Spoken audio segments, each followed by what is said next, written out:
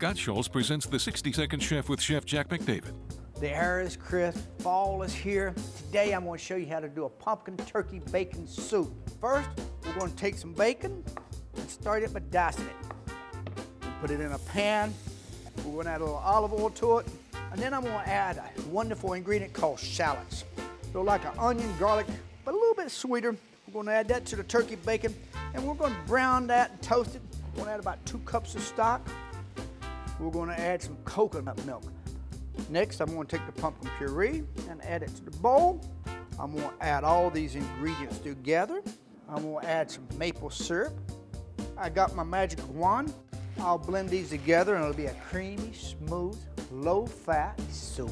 Because I'm using 94% fat-free Godshall's turkey bacon that's naturally smoked, it'll be just a wonderful, healthy, hearty soup. Godshall's Turkey Bacon. Real meat, real wood smoke, real delicious bacon.